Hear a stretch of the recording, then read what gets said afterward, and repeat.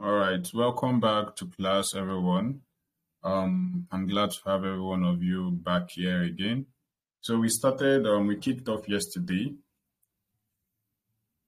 Um, we kicked off yesterday with our first session, which was um, which was quite exciting. Um, we we had a lot of information, we learned a lot, and it was it was basically um an insightful session, right?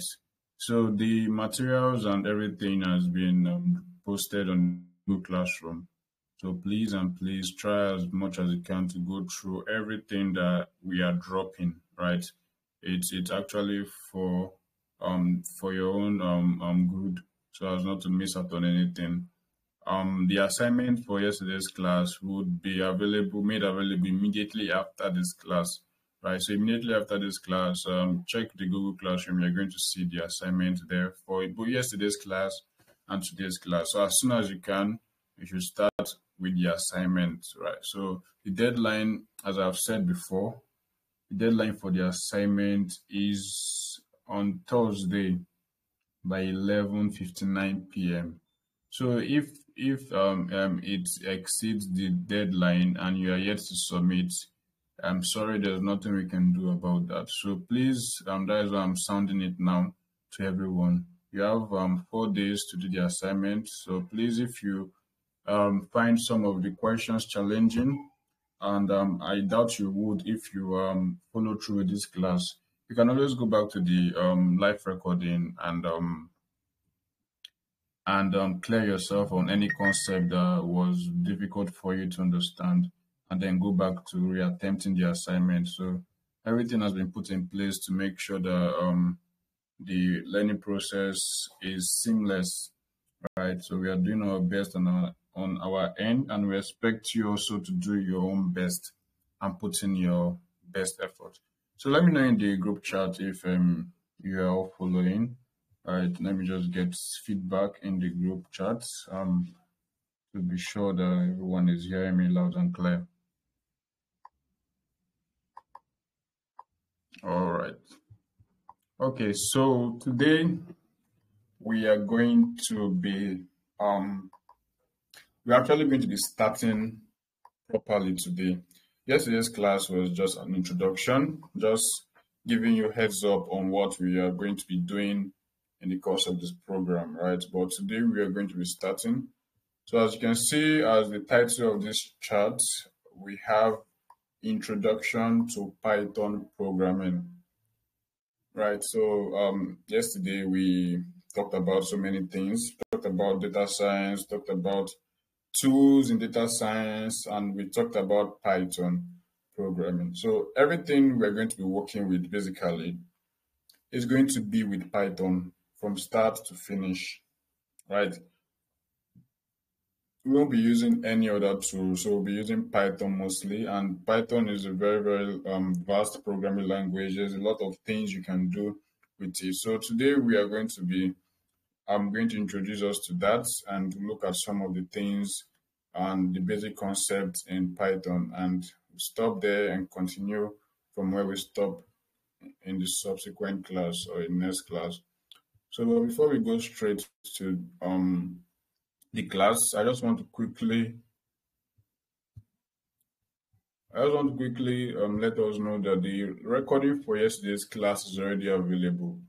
So um, CareerEX has a YouTube channel if you are not aware already. So we have a YouTube channel where we post all the recordings, all the classes that we have, right? So if you go to the um, channel, you are going to see the recording there.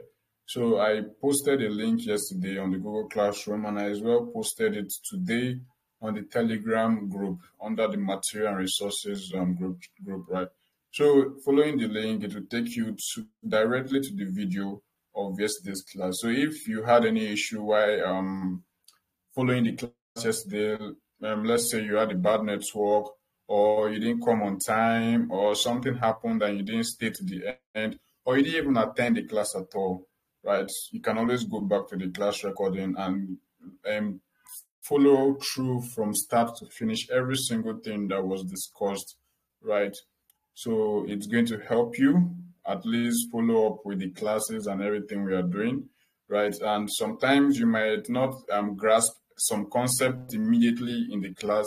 So this live recording will actually help you with that. So you can always go back there, look at what was um, discussed, how it was explained, and clarify yourself on that, right? So um, just to let you know about that, in case um, you are still um, you were not aware. And another thing, I want to urge everyone here to create a folder on their computer. So this is not a, an assignment or whatever, right? It's just for your own organization, just to ensure that you are um, you you're actually organizing um, the materials and the assignment that you'd be given.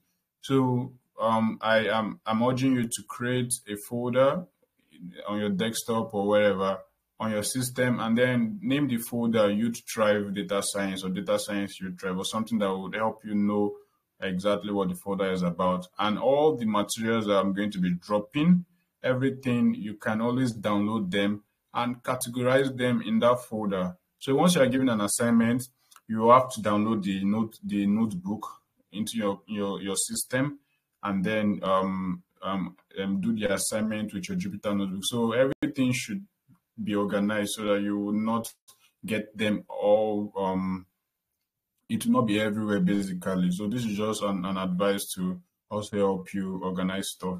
So just try and create that. And if you haven't so um yeah that is just those are the two things i need to say before we head um straight to what we have for today so i'll be sharing my screen now and I'm just going to quickly show something. All right, so just give me a minute.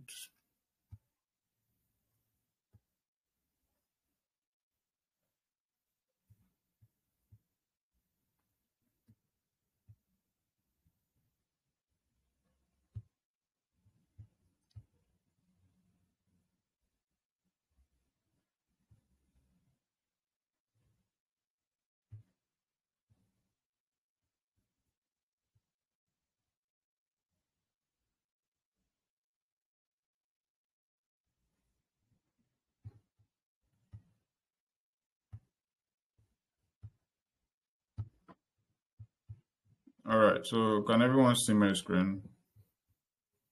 Can everyone see my screen?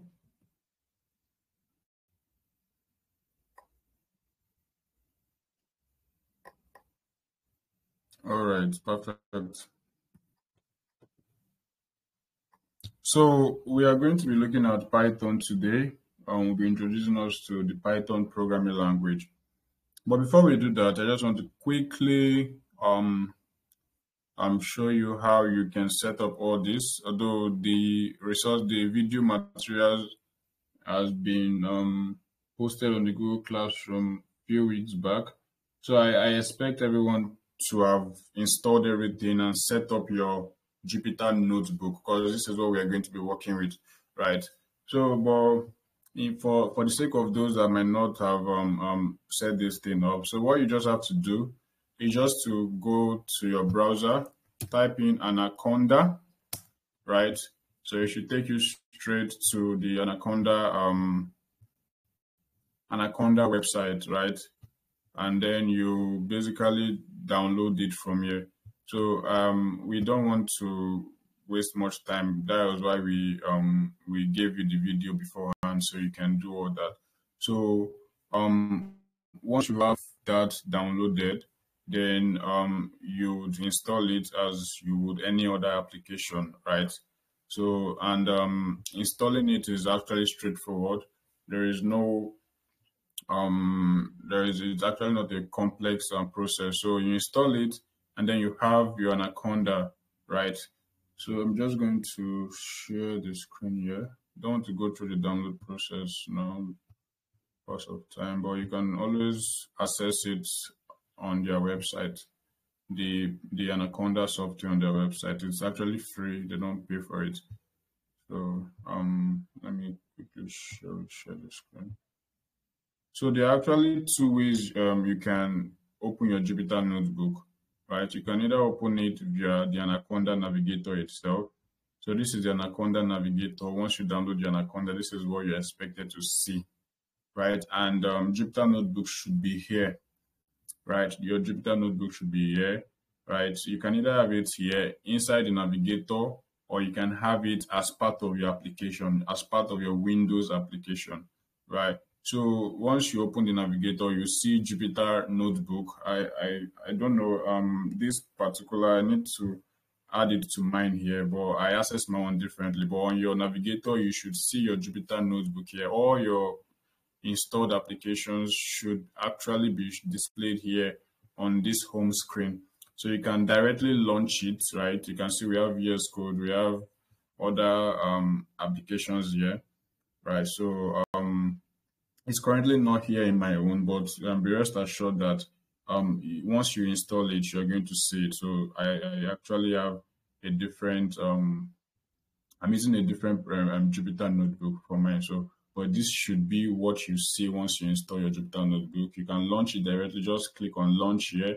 Um, get the Jupyter notebook, click on launch, and to take you directly to the um, um, Jupyter notebook. So that is the first method of accessing or opening Jupyter Notebook. So the second way of opening Jupyter Notebook is basically just accessing it directly from your applications, right? So let me just quickly show you that.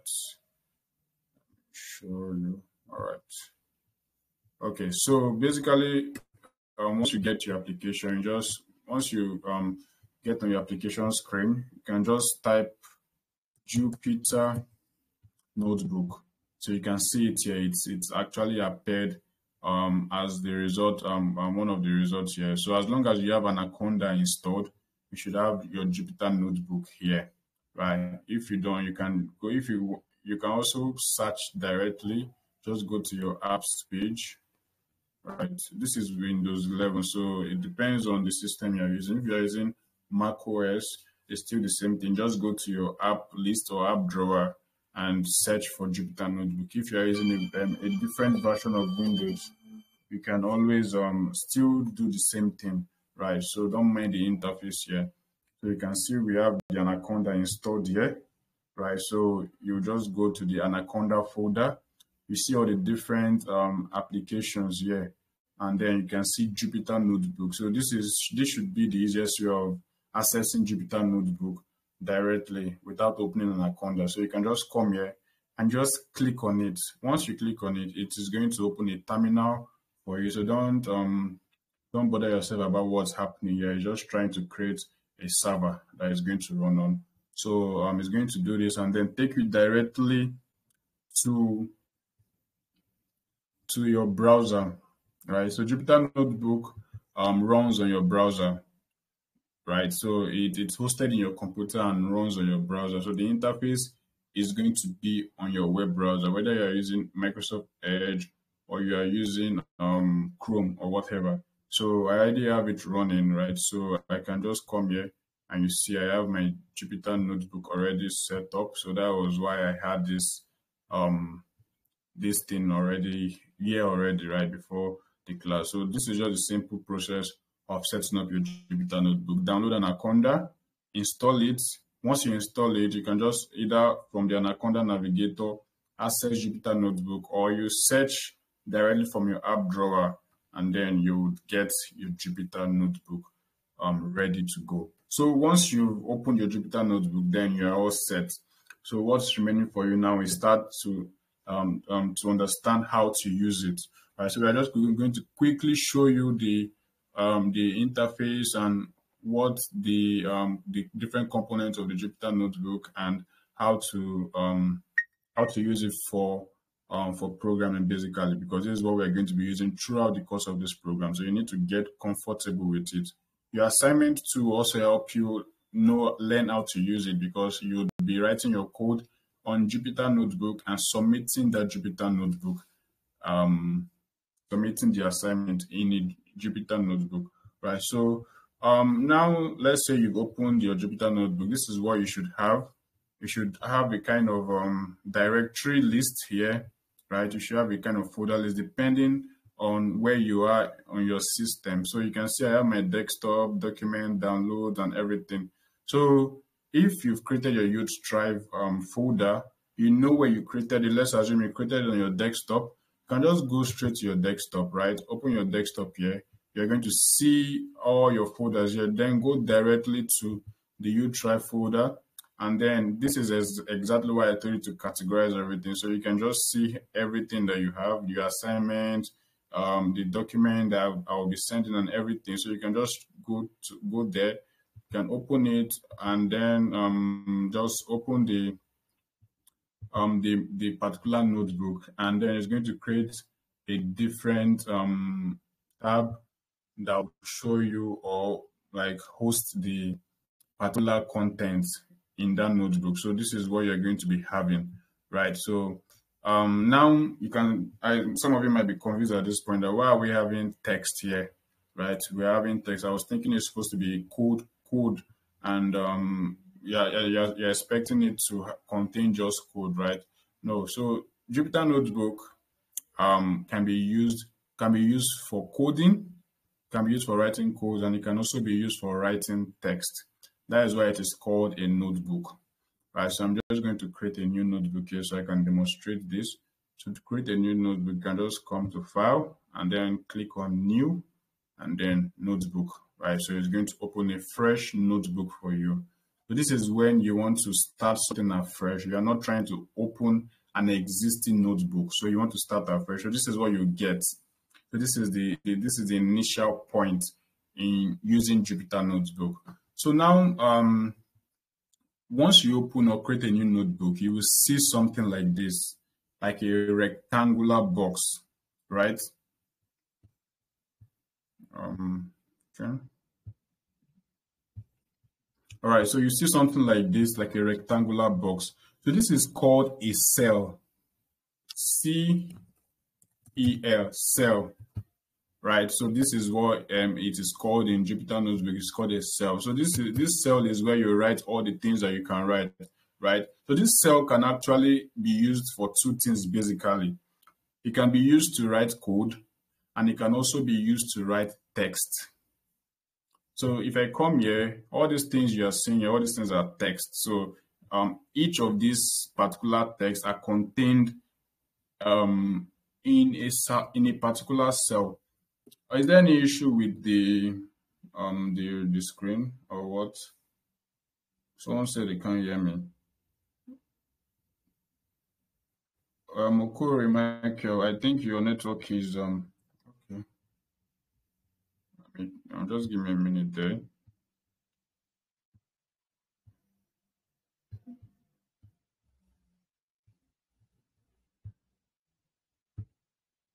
All right, can you see my screen now? Can can you all see my screen? All right.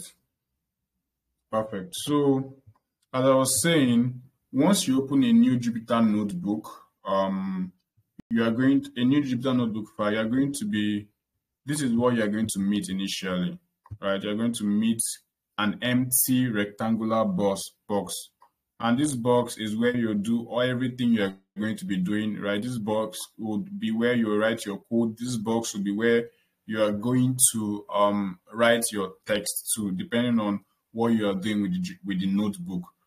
And you can create multiple boxes, right? So if I want to create a new box, I'll just come here to this plus sign. So let me zoom in. So as you can see here, I will just come here. This plus sign is for creating a new cell rather. So I said this rectangular box is called a cell right? As I said initially, CEL cell. So we can have multiple cells in our notebook. So this cells is actually a way to categorize different sections of our code.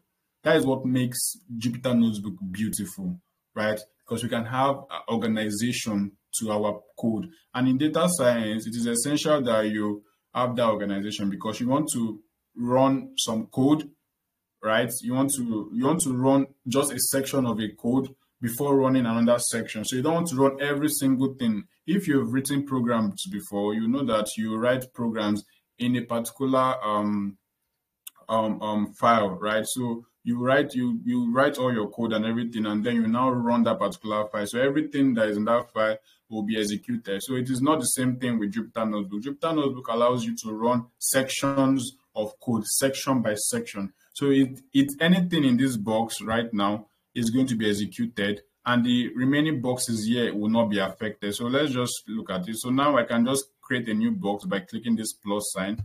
Uh, if I click the, click this plus sign here, we see I have another box here. So I have two boxes, right? So I can have um, some code here, right? I can come here and have another um, um, se um, section of code, right? So if I want to run this particular cell, it's going to run without affecting this one, and I will get my output here.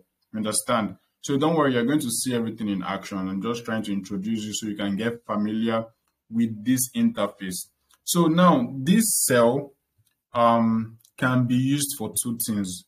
It can be used, as I've said, to write codes, and it can also be used to write text. So now as we are, it is um, it has been set up automatically for coding.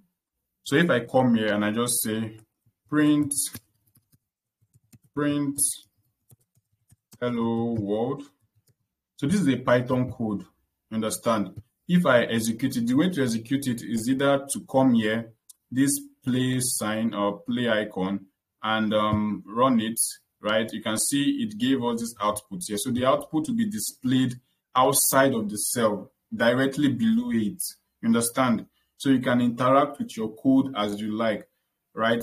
you can either use this particular option here, this one, or you can just do control enter, right? If you put your place your cursor in the cell and um, and click control enter, it will automatically run the cell, right? So the control enter runs the cell without creating a new cell. But if I use shift enter, shift enter will run this cell and automatically create another cell and take my cursor to that next cell. So these are the things you need to know because you'll be doing that almost all the time. You understand? So just try to understand this um, whole navigation I'm talking about here because as simple as it might sound, this is basically what you'll be doing most of the time. So you can see currently this is a code cell, right? It has been set up to execute Python codes, right? So if you check um, the right, um, the upper right here, you see that we have Python kernel that is running the particular code. So you don't touch this, you leave it there. Anaconda has done everything for you, so you don't need to set anything up there. So you just come here and write your code. So if you want to write a text, what you will do is you will come to this particular tab here. You see we have code here. So just click on this drop down icon, click on it. You will see we have three options. So forget this row. We're not going to be using this row. What I need you to focus on is code and markdown. Understand? Code and markdown. So if it is set on code, that means anything you type in this box would be interpreted as a code, especially to be interpreted as Python code, right? But if you change it to markdown, then anything that is here will be interpreted as a markdown. A markdown is a form of text that can be styled. You understand? So let's just look at that. So if I come here and click markdown, understand? So this particular cell, if you if you activate it, you see that it has this blue, um, um, shiny blue glowing border around it. That means you are currently in that particular cell. So if you are out of it, you see that you don't have it again. So these are the things that you need to know about your Jupyter notebook. So once you come here, you see that we have this blue um, border around it. That means you are in that particular cell and you can start typing. So once you're in a cell, just check up here. Oh, this is markdown. So anything I'm right here would be in markdown. So let me just come here and say and type welcome to Jupyter Notebook. Right. So this is a text. This is not a code. So if I if I execute it, that is control enter, you see that it it's actually displayed as a text right, It's actually displayed as a text. And now the fun thing about uh, Markdown or Jupyter Notebook is that you can style your text. So there are different ways of styling your text, which we are not going to go into right? So basically, as you are moving forward and and we are using it, you are going to be learning a lot of things about how to style text and the rest. But the basic ones are just um, headings, creating headings. Understand? So if I come here now to the uh, material I have already, so you see that this is the material we'll be using for today. You can see that this text actually styled. You can see it is bold. Um, you can see all these things that are here, right? So basically, you can style your text in whatever format you want so that it, it's present. That's why we call it Jupyter Notebook. It's like a note where you write things. So you can write things and you can also write code, right? So very, very flexible and definitely you would enjoy the experience of using it, right? So I know some of us might be familiar with using VS Code for coding and everything, but trust me, Jupyter Notebook is more flexible, although you can actually install Jupyter Notebook extension in VS Code and use it there. But um, as beginners, it's essential that you understand Jupyter Notebook itself. So every other thing, um, every other um, adaptation of Jupyter Notebook would be easier for you to adopt. So, so basically, this is it about Jupyter Notebook, right? If you want to delete a cell, you can just click on the cell. You see this blue border will come up, and you come here, this sign here, cut it, or you come here, this delete button, delete it, right? So there are a lot of things that we can do here. So let me just quickly show you how you can um, style your text. So um, if you want this to be an heading, a heading rather, you can just put this hashtag. So hashtag here is going to um, automatically style this text as a heading. Understand? So one hashtag here means the highest level or the highest level of heading. If you've done HTML before, you know we have H1, H2, H3, H4, and the rest. So this um, hashtag is like H1. So if I run this with Control Enter, you see that this the text is big now because we actually um um use the hashtag um sign which styles it as a heading. You understand? But if we come here and add another hashtag, right, it is going to reduce it. Understand? So basically, you get the gist now. So we have three, you get three um, lower heading. You have four, you get the the um, you, understand where we are going. So if you want, maybe you want to create a, um, a heading, you can actually use this hashtag to do that instead of just writing your text plainly here. So that that is basically how you do that.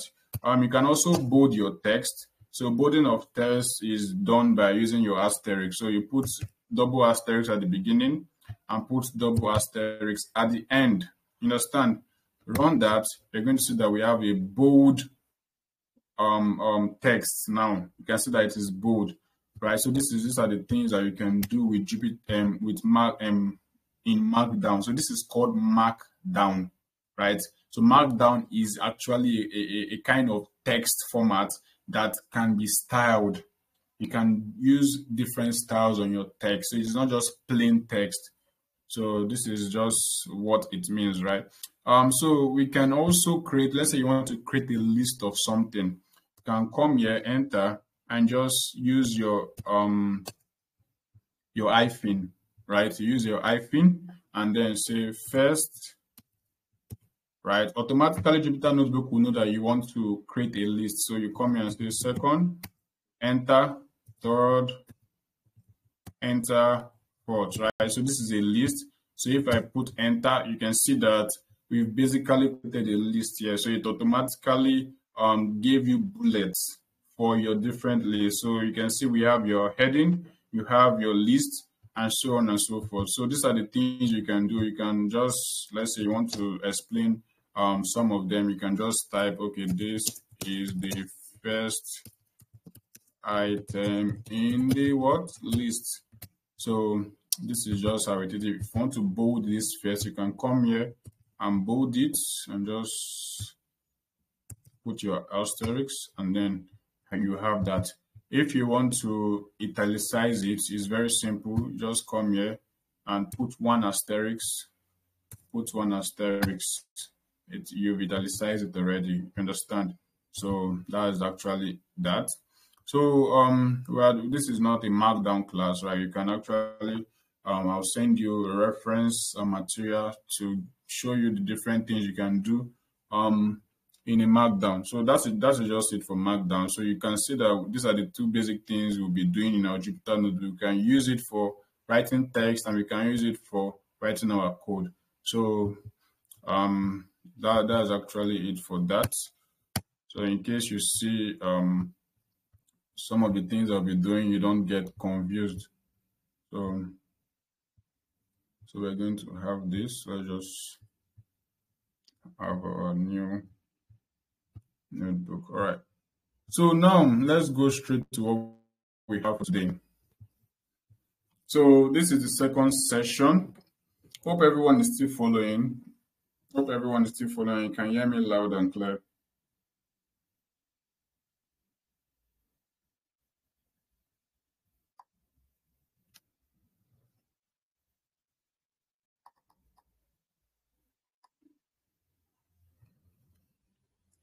All right. Okay, great. So um, today I'll be introducing us to Python programming language. So today's class will just be for um, Python introduction. We're going to do this little code definitely, but it's just going to be the introductory aspect, right? So um, this is the outline, right? We have overview of Python, talk about um, the importance and application of Python. We also talk about the syntax and indentation, talk about variables and data types, talk about type conversion, print statement, comment, and doc strings. So this is where we're going to be stopping for today. Yeah, um, we're going to be stopping at comment and doc strings, and um, next week we'll continue from the um, next um, um, um, um outline um, item on the outline, which is basic arithmetic operations. So after the end of this class, you should actually understand what Python is, and you just have an idea of what what um, the programming language uh, uh, um, um, does, right? So when you see the Python code, you should know that oh, this is a Python code. We're going to talk about how to do all that, how to know when, um, um, how to write your Python code, the syntax to follow, and all that. So let's just um, um, forge ahead because of time. So now, what is Python? Right. Um, first off, like if this is your first time of hearing Python, um, I, I actually want would understand you if you find the name to be weird, right? Like, why would someone name a programming language Python? Like, why exactly? So, but that shouldn't be the the the point of your focus at this point. Just know that Python is a general purpose programming language. Very important to know that Python is what a general purpose programming language. So we have programming languages that are specific for a particular purpose. Understand? So programming languages were created for a specific purpose, right? Like JavaScript now. Um, I don't really know much about it, but I believe JavaScript was specifically created for web development. So you can actually classify it as a, you can you can classify it as a general purpose programming language, right? Because it's mostly used for web development, right?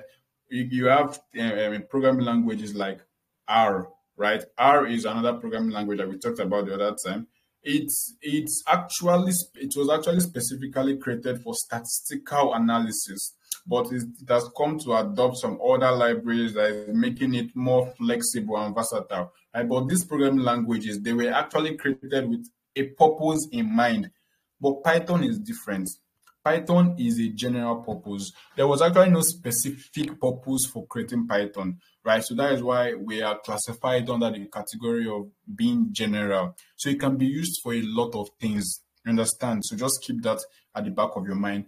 Now, general purpose is one thing. It is also a high level interpreted programming language, right? So all these things are computer science stuff that um, we might not really have the time to dissect. But basically, um, programming itself is speaking to your computer. When you write a program, what you're trying to do, you're trying to communicate with your computer. You're trying to tell your computer to do a particular thing. You understand? So these programming languages that we are learning, they are like normal languages, right? When you want to speak with somebody that is um, that is in France that speaks French. We need to learn their language. You understand? We need to learn how to speak French. If not, they won't understand us. And if we are trying to tell them to do something, they will not be able to do that thing. You understand? So the same way human language work is the same way programming languages work. So um, um, yeah, the same thing applies. If we are trying to tell the computer something and we don't know how to code, basically we will not be able to achieve our purpose. The computer won't understand you or even if you know how to you have an understanding of that programming language but you don't know how to accurately write your code you are going to be getting errors errors errors. Errors is the same thing as someone telling you that they don't understand what you are saying. Um please can you come again? All those kind of feedbacks you understand? So your computer is actually more strict with that feedback. It just throws you error you understand? So programming is basically speaking with computer and to be a good programmer, you need to be able to speak um, effectively with your computer. So that is what we are going to be learning how to just um, um, um, um, instruct the computer to do some certain things. So Python is one of those languages that we are would be using to speak to our computer. So the high level in this case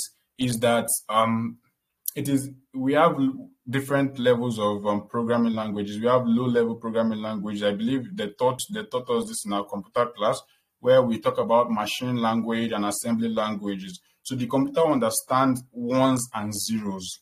So if you want to actually directly speak to the computer, we are going to be writing ones and zeros to the computer, which doesn't make sense and which is not very practical. You understand? In the initial um, stages of computer um, development, people were actually using binary codes, machine languages to speak to the computer because the instructions there were not actually um, complex, right? But as we're proce- um, progressing with innovation and everything, they needed to bring or develop languages that can that can capture more complex um, computations, right? So they developed all these program languages that we have today. So Python now is a high level. So the high level means that it is on a higher level. So once you write a Python code, that is not what the computer is understanding directly. That code is actually broken down or interpreted as we are going to, as we have it here.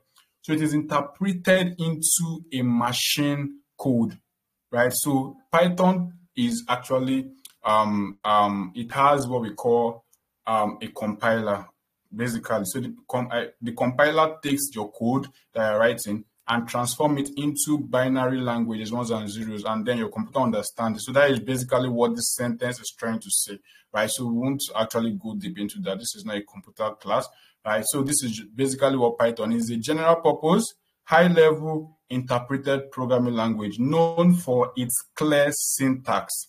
Now, um, if you've not written code before, if you've not seen code before, you, you might not necessarily understand this right now. But just know that Python has a very clear syntax. What does syntax mean, right? Syntax is actually the structure of writing something, the way something is being written. English language has its own syntax. You understand? We have um, we know how to write our our sentences, right? We know that we'll start with a capital letter, right? A capital letter, and then we write the first word. Then we go like that, go like that. Whenever we have pauses, we'll put comma. That is part of the syntax. We'll continue, and then when we have ended the sentence, we are going to do what? We are going to put full stop. So that is English syntax. You understand? So we have um, the paragraph. So once you are done with a particular paragraph, you know that you leave an indent or an indentation, that is a space before starting your next paragraph. So those those things are actually the syntax of English language. So the same thing applies to other languages. They have their own separate syntax. Like Arabic now, Arabic now has its own syntax, right? I don't really know much about it, but the way you write it is different from the way you write English language. Why? Because of the syntax. Understand? So the same way normal languages have syntaxes that they follow, Python also has its own syntax. Other programming languages have their syntax. JavaScript has its syntax. C++, Rust, and, and what have you, they have their own syntax. But Python syntax is actually very clear. That is one beautiful thing about Python. Python syntax is simple. It is one of the simplest syntax that you can see or get in any programming language, just keep that at the back of your mind. You understand? So you you you see all these things as we are proceeding, right? So Python is known for clear syntax, readability, and versatility. So readability, of course, if you have something that has a clear syntax, to be easy to read, right? So I don't need to explain much about that. And versatility too. So it is versatile, right? For the fact that it's a general purpose programming language, that means you can adapt it to so many things, right? So many applications. So this is just what you need to know about Python at this point, right? We won't go deep into that, right? So this is the knowledge you need to move forward. So all this other information here, just telling you when when it was developed. So Python was developed by Guido van Rossum in 1991. So that is um, um about 30 years, more than 30 years ago. So since then, it has been adopted widely and actually one of the most popular programming languages in the world, right? So um so basically this is what Python is all about. Now um so we can actually go further if you care to read about Python itself from their website. So if you get this notebook, you can easily just click on this link that we have here. So you see, this is actually um, a markdown. I was able to create a link with it. You understand? So let me, if I want to see the syntax I used for that markdown, I can just double click it and you see what I did here, right? So this is part of the markdowns that I was talking about the other time. So you get to just, you can explore it. Once you get this notebook, you can actually explore it and just see how it can be done. So I don't want to um, spend so much time on that. So if you click on this link, it's going to take you to Python website itself, right? So you're going to go to the Python website. You're going to see the documentation. So you can basically um, check out anything here, right? So you can see the um, tutorial, library reference, language reference, just explore your own, right? Basically, there is no guide on what to do in this point. You can see we have beginner's guide here. So if you are a beginner, you can just click on this and then it will take you to um, a page where it shows you everything about Python, right? So there are a lot of things. I think the CSS is not rendering here well. So, so yeah, that is okay. This, as you can see, this is it here. You can see everything, right? So all the things you need to know so that is it for Python. I believe you've been able to get an understanding of what Python is.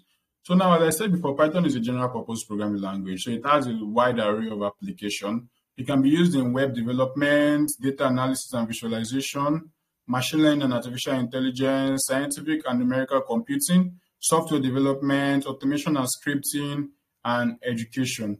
Right. So I'm just going to quickly go over this one after the other. So um, you can use Python for web development. So if you if you want to learn web development, you can actually also use Python, right? So you can use um, libraries in Python like Django, Flask, FastAPI, and some other libraries. So these are the most popular one. You can use it to build your backend, right? Your do the backend of your website, which can be done with other programming languages. But Python also can do that. It is that versatile and most people do it. Most of these big um, websites that you know, they were actually built using Python or using Django to be specific. So that's about web development. Data analysis and visualization. Yes, that's what we're going to be doing. So Python can be used for data analysis and visualization. So this the libraries we mentioned yesterday are what we are going to be using for that. Pandas, NumPy, Matplotlib, right? So these are the libraries you can use for data analysis and visualization in Python, right? So you can also do machine learning and artificial intelligence. So yeah, Python is like once when you are, once you're talking about machine learning, just know you're talking about Python. There is basically no other programming language that comes to mind when doing machine learning. So you need to learn Python, you need to know Python to do machine learning right? So I've talked about the libraries that you can use for that. You can use scikit-learn, TensorFlow, and PyTorch. Those are the libraries that in Python that you can use for machine learning. We also have scientific and numerical computing. So if you're, let's say you're a rocket scientist, you're working in NASA. NASA, they use Python too for that calculation, right? So if you want to have a very precise calculation, calculating orbit stuff and all those things, you can actually use Python for that, right? Software development, same thing as web development. right? So automation and scripting.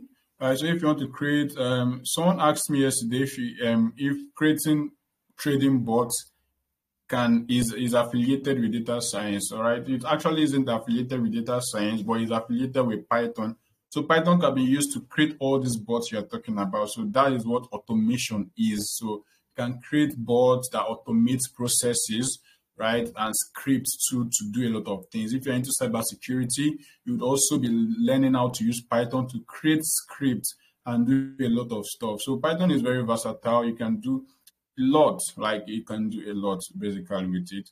And the last is education. So why you're seeing education here is that Python is basically used introduce people to programming because of how simple it is. You understand, right? How simple it is. So um, as you said, as I said before, it has a clear syntax, and that clear syntax gives it that edge. Right. So these are the um, different applications of Python. The one we are going to be focusing on in this program is data analysis and visualization and machine learning. Right, so we are going to be focusing on this aspect of Python, right? So that's what we're going to be doing for the next 12 weeks. So let's move on to the main thing. So I've introduced us to Python, right? Giving an idea of what Python is, what what it does, and um, the application and what have you. So now we are going to be looking at Python itself. So the first thing they teach you in any language is the syntax, how to write that language, right? When you are learning how to write, you learn the syntax. So that's what we're going to do today. So, but Python syntax is straightforward. Remember, um, I, I wrote a particular code while I was making an illustration, print what hello world. That is a Python code. You've written a code already. You've actually written a program, right? So that is, it can be as simple as that. So now Python is actually renowned for its straightforward syntax, as I have said multiple times. Let me um, zoom in so you can see this more clearly. All right. So, and it has a strong emphasis on readability, right? Which sets it apart from many other programming languages. So by now you should already know this because I've said this like a million times, right? Python syntax is clear, is straightforward, is this, is that, is um it has emphasis on readability and the rest, right? So you should already know that about Python at this point. Let's now see how to um, write Python code. So now, one thing about the most important thing or the unique thing about Python syntax is the indentation. The indentation. That, that's what we're going to talk about as regards Python syntax. So by I think I believe everybody knows what indentation is, right? So we know what in, um, you, writing our normal English, we know how to use indentation. So indentation is basically spaces. So to indent something mean to um, give space or to make space before starting what you want to write. So if I'm to like, let's say, if I'm to like um, write something and I'm asked to um, give an indentation. So I would have to actually jump some few, um, um, um, um I'll have, to actually create space depending on how much space I want to create and then start writing. So now Python um, does that with its indentation. So if you don't indent properly, you are going to be getting an error when writing your code. Do you understand? So um, Python syntax, what does the syntax actually mean? It refers to the set of rules that define how a Python program is written and interpreted. So as I said before, if you don't write your code very well, you always get an error. That error basically is the computer telling you that, hey, bro, I don't get what you are writing. Can you um, go check your code again and ensure that you are sending me the correct information following the syntax, uh, following Python syntax, right? Even if you you are a good programmer, sometimes you know what to code, you already have it in your head, but then you didn't follow the syntax. You made a very silly mistake, a slight, a slight mistake. It will still throw an error because you've not followed that rule, the syntax. So it's very common and don't get frustrated when you are writing your codes and you are getting error. He's just pointing you at something. It might be as it may be seem as simple as you not put a bracket, you not cover something, or you not put a quote, or you not do this, or you not do that, right? So these are the things that you need to get comfortable with as you are progressing, right? So um, this syntax, that set of rules that define how Python program is written and interpreted, right? So um, the way you learn how to write Python code effectively is by practicing. So I'm, I'm going to always emphasize that moving forward by practicing. If you don't practice, then you would not know. You might have it in your head, okay, this is how it should be. But is it different from from writing it, right? Head knowledge is different from um, practical knowledge or implementation. So there's what we call conceptual, um, um, the, the conceptual aspect of learning and the implementation aspect of learning. What we are doing now is the conceptual aspect. I'm explaining these things to you so you understand exactly what to do, right? This explanation is a means to an end. The end is that you write Python code. So if you stop here and just relax, right? Assuming that you already know Python, my dear, you don't, right? Until you're able to implement this in code and do that effectively and consistently, then you are now, you cannot say that yes, you can write Python code. So just also keep that at the back of your mind. So trust me, the back of your mind will get full because there's a, there are a lot of things that will tell you to keep at the back of your mind. Right. So that is just on a lighter note. All right. So let's move on. Now the indentation is actually the core aspect of Python syntax, right? So it refers to the use of white space. So white space, whenever you hear white space, is basically just space. Like people like complicating stuff. These guys that name these things, they just like what the white space is space. You understand? So don't allow it confuse you. So it is it, it refers to the use of white space, which can be done using tabs or spaces. Understand?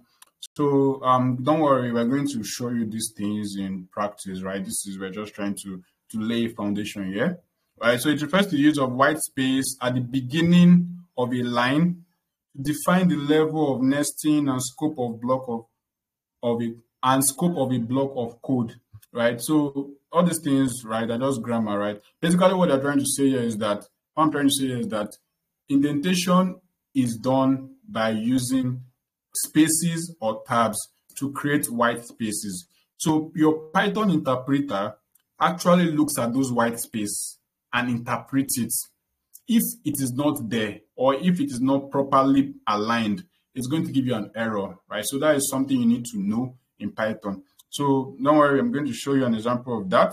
So um, indentation is the leading white space before any statement. Same thing we've said.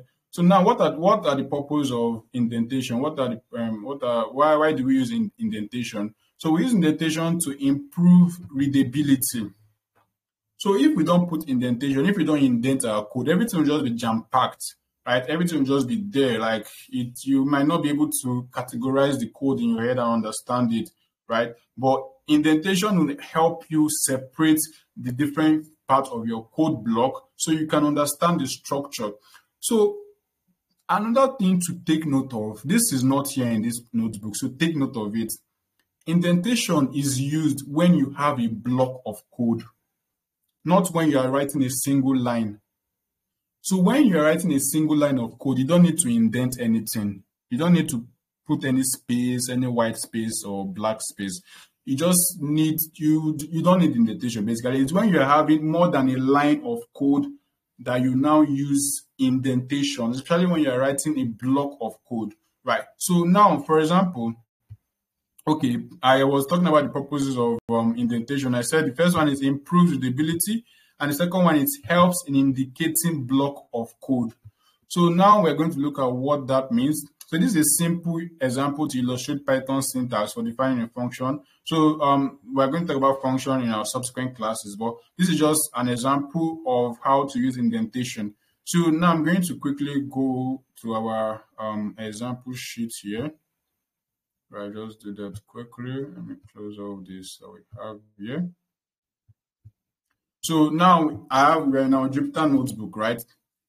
Um, I want to quickly illustrate what I've been saying since. So, right, I I I wrote the code earlier, which is print, right? Hello world. So this is a code, right? This is a very simple and straightforward code in Python. We're going to talk about how to do this, but just follow me here. So if we run this, we're going to get um, a hello world. No need for indentation here. Understand? So because I've been saying indentation since doesn't mean every code you write you put indentation. No. So it is in cases where you have a block of code. A block of code now can be a function, right? We're going to talk about functions in later class. I'm just using this to show you how to use indentation in Python or the importance of indentation. So writing a function in Python can just be say def my function, right? You can just put any arg and come here. And now this function code is a block of code, right? Why? Because you have to um, continue with the code in the next line. It's not something you just write in one line and you you finish with it. It has to you have to continue with it because you are trying to define a function. So it carries um, um, other codes. Um, um, it, there, there are other codes that follow it. So to organize this code, you have to use indentation. And the good thing about Jupyter Notebook is that it automatically indents for you. So once you come here and write your function definition and you click enter, you can see that it has indented. So there's a space here between here and here, right? You can see the space here. Let me zoom in. So you can see, let me come back. You can see that there's a space in between this cursor here and there's a space here and here. So this is the indentation we are talking about. So I can just come here and say um, um pass, right? And just enter. You can see it's fine, no problem. But let's remove this indentation now. Use um let me write the normal code for us here. Let's see, print two plus two. So this is our function here, right? If I come here and um, define our function, I, this is not a function class, but let me to show you um, what we are, what we mean by indentation. Come here. So you can see that our function now is giving us an output, right? So Python is recognizing all the syntax we've put here. Oh, everything is correct. This guy has actually followed the syntax rule. Okay, I'm going to execute this code properly. So it will print 2 plus 2 for us and it will give us 4. But let's assume we didn't follow the syntax. Okay, let's just start with something. Let's remove one of these brackets, right? Let me remove this bracket here. Someone can see my screen. Is it just him or is it everybody?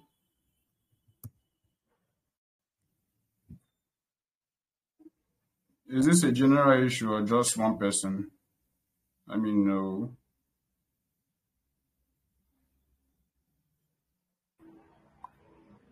think it's just All right, all right, perfect. Okay, so now um, I had this before, so let's just go back. We had this here. So let's assume I made a mistake. I forgot to put close my brackets here. Understand?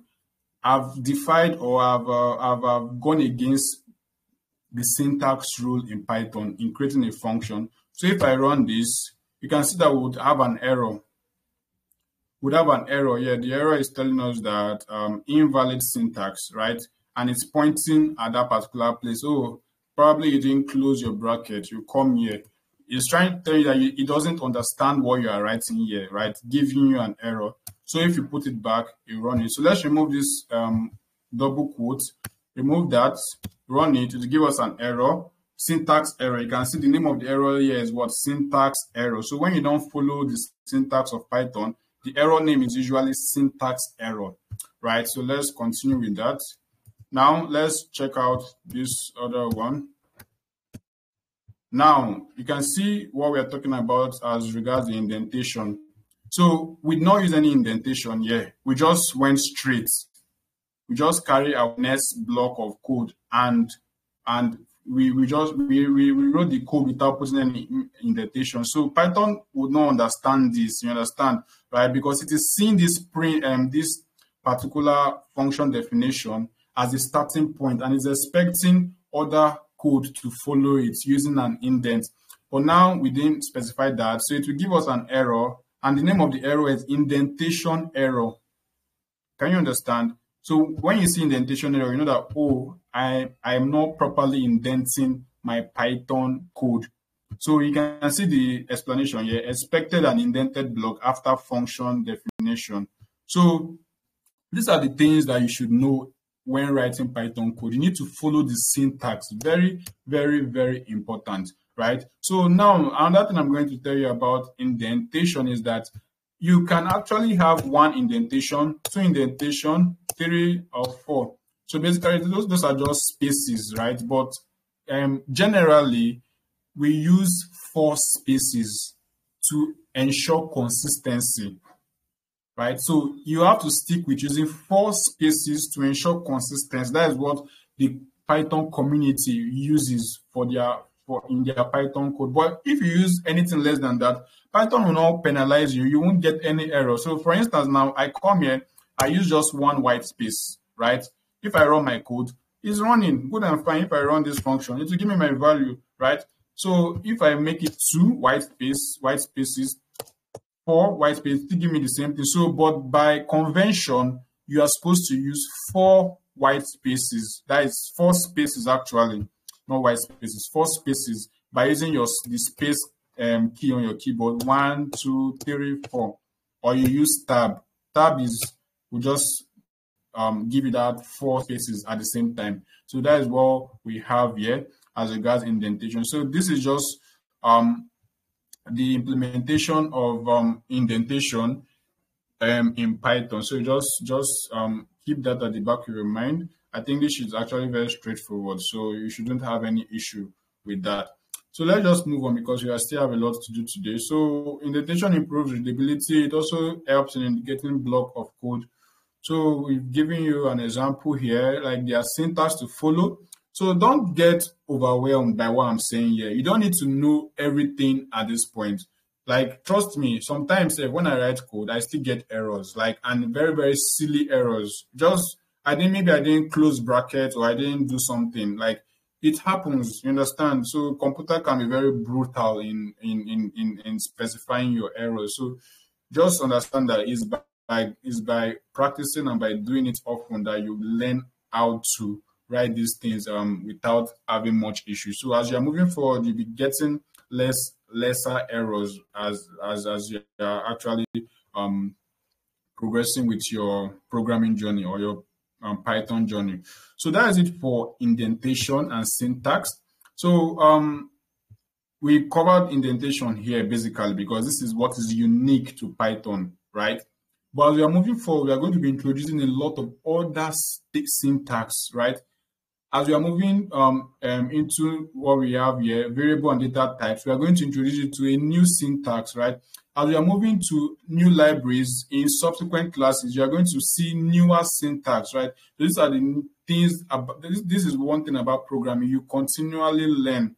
So you learn new things every time. So you cannot you cannot actually learn every single thing in Python. So just get that thing that is necessary, know what you need to know for this, and then improve yourself on it, practice and keep on improving, right? So that's just basically how you get good with what you are doing, especially data science here.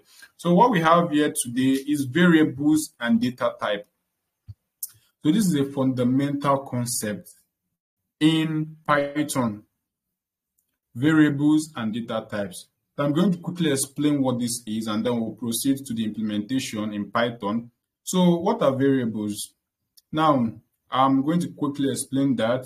But before I explain that, I will explain what data types are, right? So data types are actually, um, it, we have different kinds of data types in Python. So variables and data type, they go hand in hand. Variable are containers. So let me start with variables. Variables are containers that hold different data in Python, right? So we have data, right? Because everything you are doing, you have you have to use data, right? We are not talking about um, the data we talked about yesterday, which is the CSV data or all those kind of data. This data now is just the the small small data we will use in doing some certain things while writing our code, which you are going to see as we're moving on. But variables and data type actually go hand in hand. You can't have one without the other. So variables are like container, and data data are the things that you manipulate to get what you want in Python. So just look at variable as a bag, right? It's going to make sense when I show you the implementation, but just follow me here. Look at variable as a bag, right? Let's assume you have um, several items that you want to carry around. You have your keys, you have your phone, you have your perfume, you have a lot of things. Let's say you are traveling or you are just going, um, you are going somewhere basically, and you have all these items, right, that you actually want to carry around. So you know, as a human being, it will actually be very hectic carrying all these things in your hand one by one. It won't actually make sense. That is why we have bags. So we have our bag, handbag, or whatever bag it is you want to uh, you want to you, you like. Then you put all these items in that bag, and the bag makes it easy to transport these items from one point to another. So variable in Python is like that bag. So it's like a container that contains different data.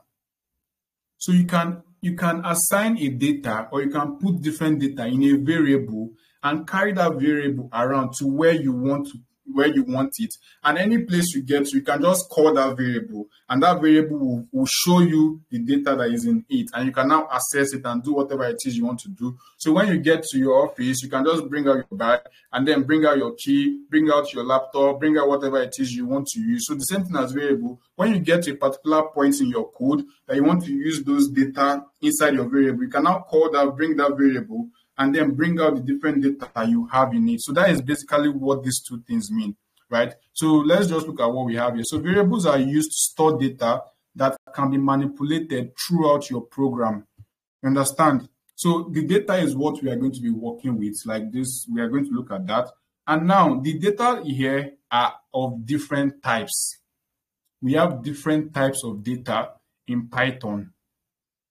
So don't worry, we're going to show that, but let me just quickly go over that. So we have int, which is integer.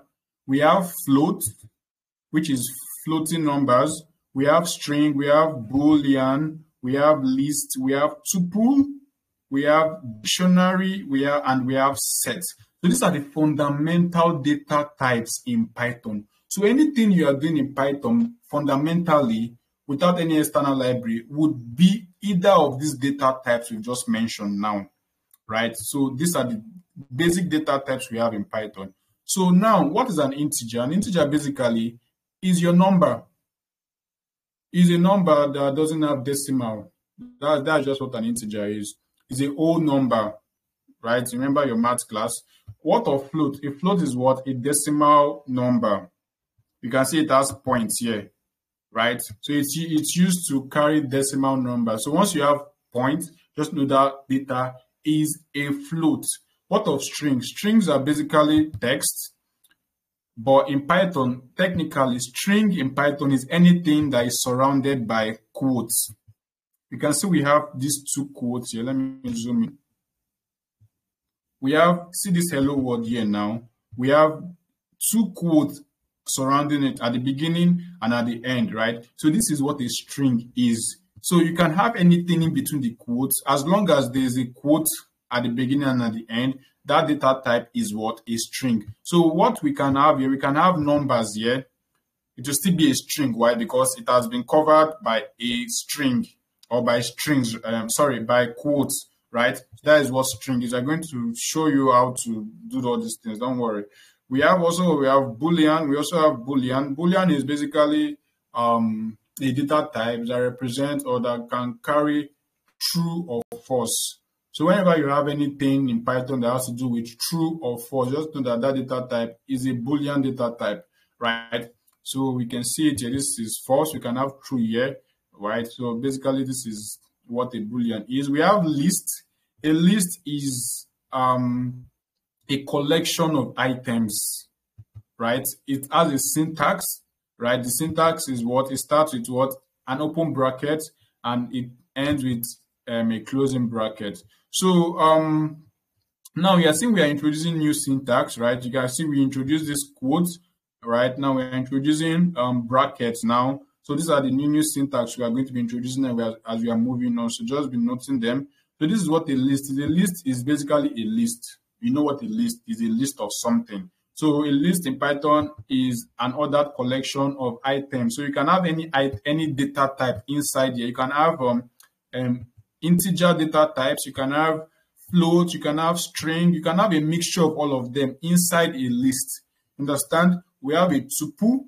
A tuple is like a list, right? We're going to look at the difference, but it starts with um, a normal bracket. A list starts with a square bracket while a tuple starts with a normal bracket. So those, that is the difference between a list and a tuple. That is one difference actually. Um, we have other differences that we're going to talk about. We have a dictionary. A dictionary is um, another data type that carries an a list of items, but in a different way. You can see that it starts with a curly bracket.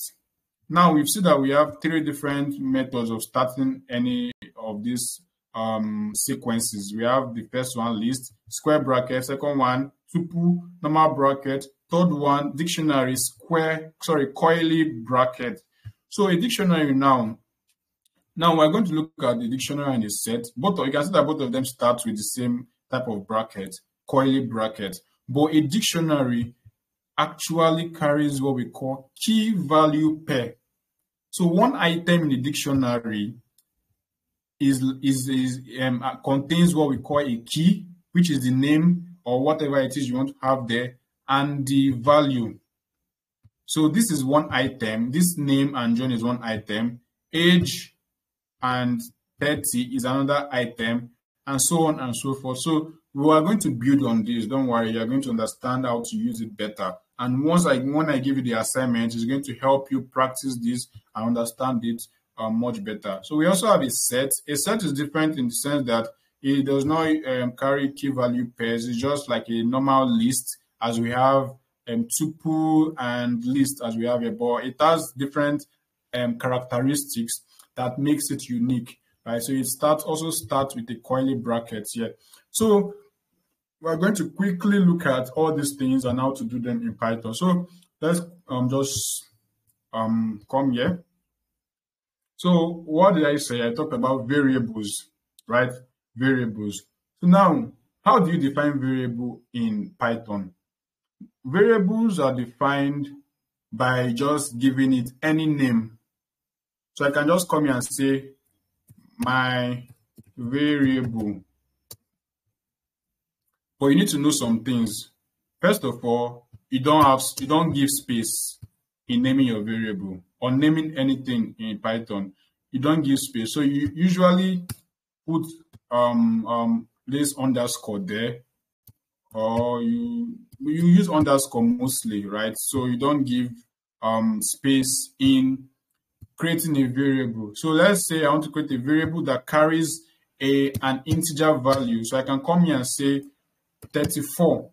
So what I just did now is that I have carried, assigned this integer. This is an integer value here. Remember, I've assigned it to a variable. The same way I will carry my key or my phone and put inside my bag. That is what I just did now. I just carried 34 and put it inside my variable. So anywhere I come, if I run this, right, that is control and enter. If I come here, I can just say call my variable, which is my variable if I run it, what am I going to get? Can can someone answer me in the in the in the group? What exactly will be the output here to know if we are following? Exactly. So very, very simple. So you are going to get 34. So 34 is what the variable is carrying. So if I run this, you see I'm getting what? 34 here. So that is what the variable is. Very, very simple. So I can have anything. I can have um, um, a float. You can see I've changed this now uh, to what 0.76. So if I run this and come here and run this, what you see I've gotten a different value, right? I can have a list passed to my variable. I can come here and say um, list. I can say one. Okay, let me use into 34 So I, I'm having a list of integer values, right? So this is a list data type, and I'm assigning this list to a variable, which is my variable. So I can change this name to anything I like. I can change it to um, list. I can change it to my list, right? If I run that, if I come here and say my list, you'll see that I have my list here. The output is showing here, right? So that is what the variable is. So anywhere I am in my code, wherever I'm doing, if I can, if I just call my list to bring out the data that it is carrying, that is just what a variable is. So you can assign any of the um, variable, any of the data type you have learned to a variable. So this equal to sign is what we use to assign um, this list to a variable. This is what we call assignment operator. Assignment operator. Very important to know. So let's just move forward. Um, we're going to be giving other examples. So now let's look at some of these um, data types we've talked about. Now, we've talked about some types of data here. We've talked about um, integer, float, string, boolean list, tuple, dict, set, right? So now, okay, let's quickly illustrate some of this. So I've showed you how to assign, create a variable. Now, let's quickly look at these different um, data types. I'm going to introduce us to some things now. Remember, I've used print initially. So print is a function in Python. Now, we, we are, today we are not talking about functions, right? We, are, we have a class dedicated to explaining what functions are. But this is very necessary to, to explain because we're going to be using it over the course of this class. So print is a function in Python, right? That actually outputs the content that you pass into it. You understand? So if I come here and say print, normally functions have a closing and opening and closing bracket. This is the syntax of any function. So if I come here and say print and I say hello world, what is the name of what is the name of this data? Like what data type is this particular data that we have here now inside this print statement? So I just want to ensure that we we are still following. What what data type is this? hello world here? What data type? Based on what we've talked already. It's a string, right? Exactly. So that that's a string. Why why is it a string? Why can someone tell me why is it a string? Why exactly is it a string?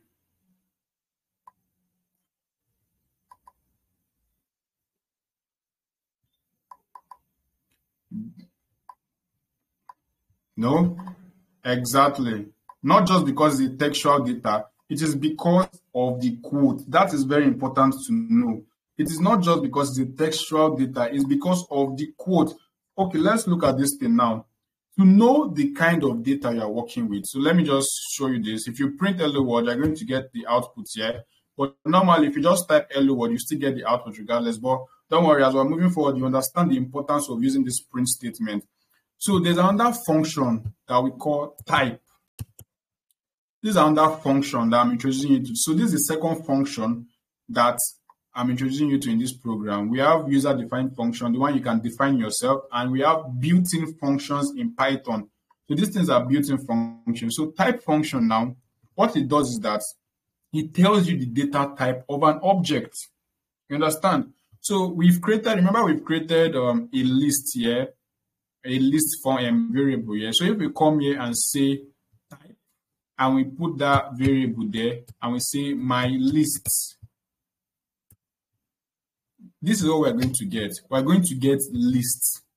Do you understand? You see, we're going to get lists. It means that the object is a list.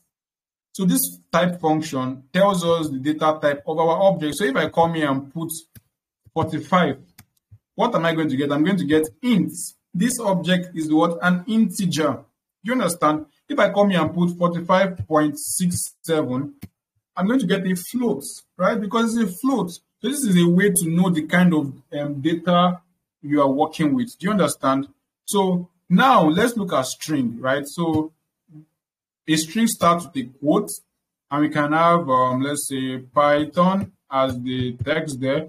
Close it. You can see that it's a string. All right, let's change the text inside here to number. Let's change it to 67. I'm still going to get a string. Why?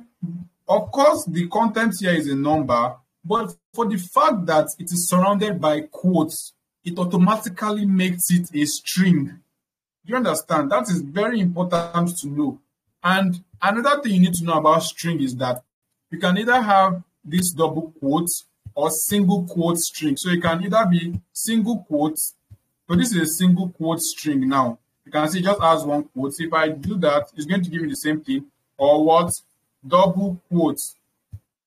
So anyone you want to, you just ensure that there is quote in your string. There's you have quotation marks surrounding that particular object.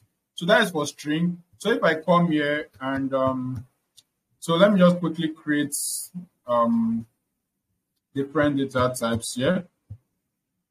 All right, so let me come here.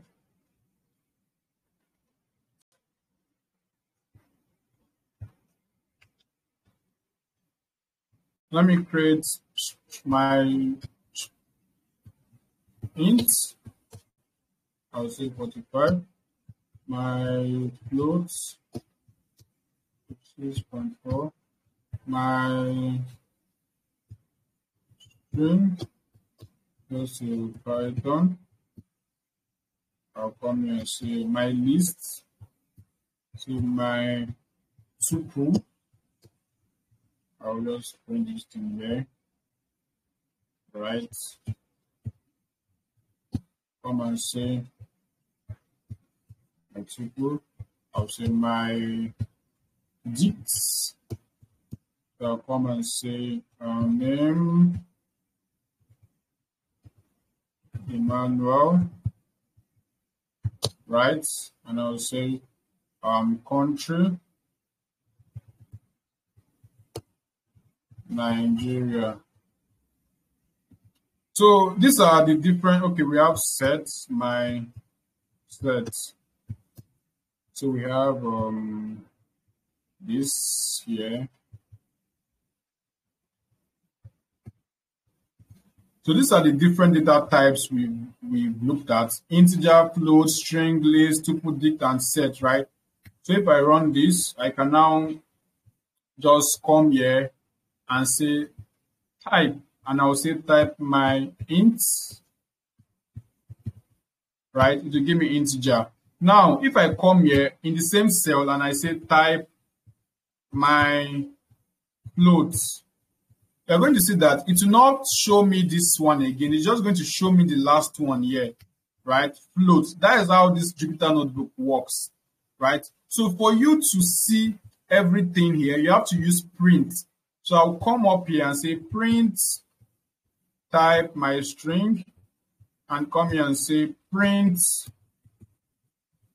type my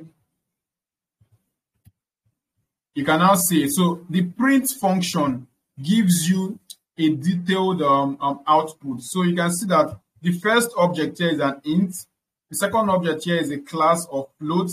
So if i do this for everything i'll just print out everything here come and say print and um, I'll change this to my list or string rather. My my um lists. My tuple. No. Yeah my tuple. My dicts and what we have the last one.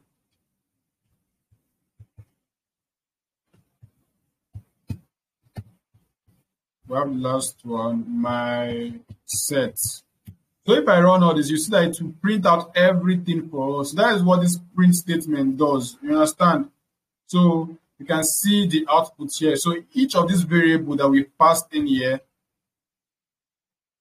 we are we pass in a variable to this type function, which will give us the type, and then it will now pass it to this print. So this print will just output it for us to see, right? If we don't put print here, we are not going to see anything. We are just going to see the last code that we have here, the output of the last code. That is how this cell, this Jupyter notebook works. So in order to see what you are doing, you have to use print to output it. If you've done um, JavaScript before, it's similar to console.log. You understand?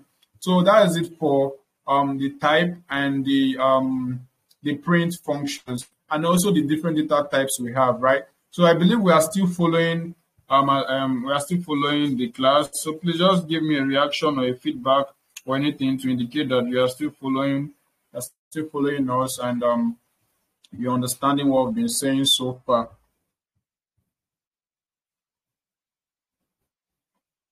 All right, perfect. So let's move on. Let's move on. So we still have quite some things to cover. So we have what we call mutable and immutable data types. Now, these different data types I've explained now, they are categorized under immutability or mutability. And what does mutability and immutability mean? Right? So I'm um, just give me a minute here. Um, okay. Okay, great. So we have mutability and immutability. So these different data types we have here, they are either mutable or immutable. So mutability means they can be changed after they have been created. Immutability means they cannot be changed even after they have been created. You understand? So you can see here that okay, the value cannot change once created for immutable data types. So if you try to change it, a new object is created instead, right? So the ones under um, um, these are the integer objects, float object, string object, and tuple.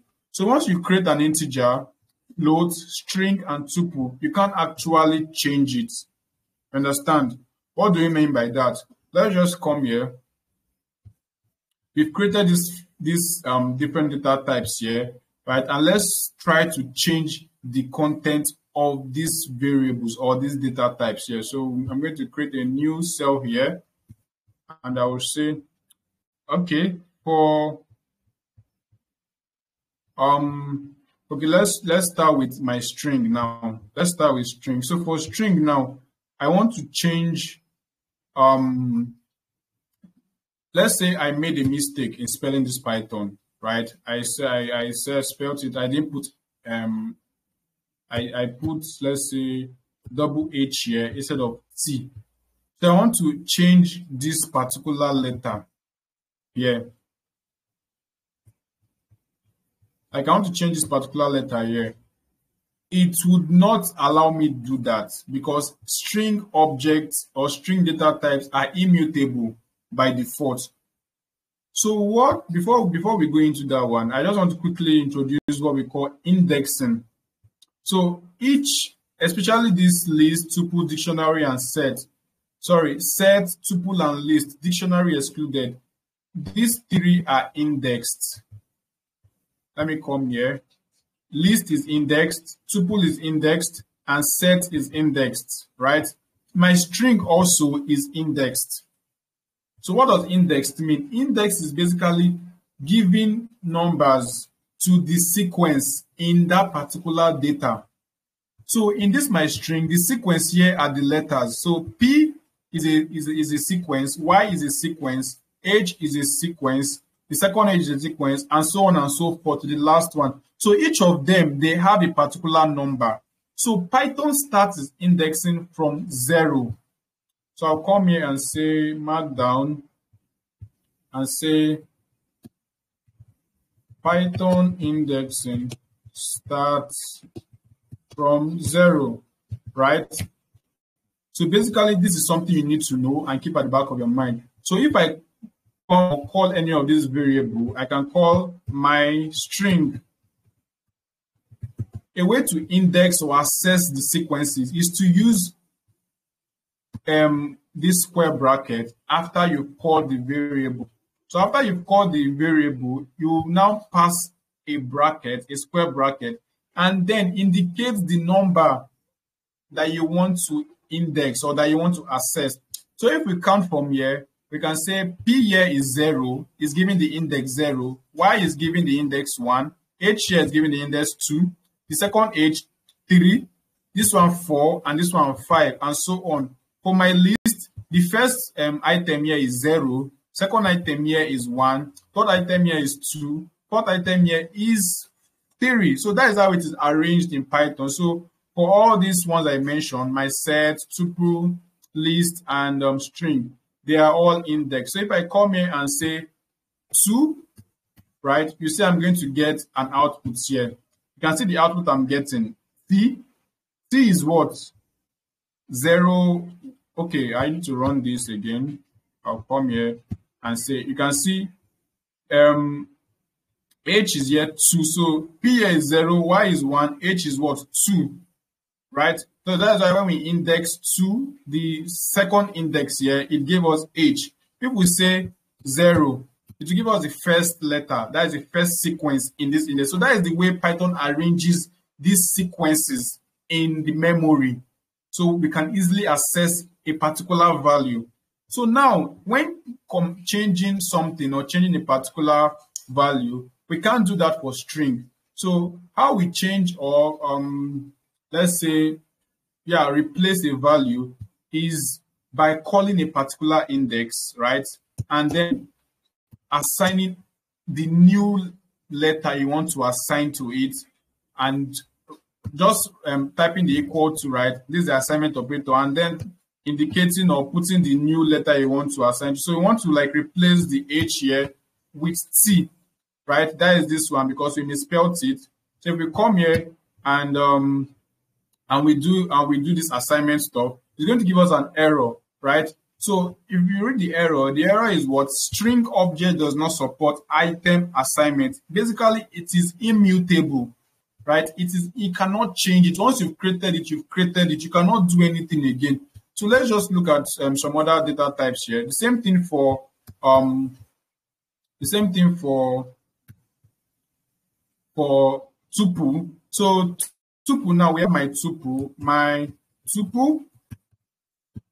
Okay, I'm going to answer the question now to know if we are following. I want to assess this 54 here. What was the index I'm going to indicate in this bracket? I want to access this 54, this value here. How am I going to put it here? What's the value I'm going to put here? 2, right? So I'm going to put 2 there, right? and I'm going to run it. You can see that to give me 54, right? So if I come here and let's say I want to change this 54 to 30, like let's say I made a mistake, I'll come here and say this particular value index equal to what 30, and I run it, it's going to give me an error too. Tuple object does not support item assignment, right? So you can see that clearly.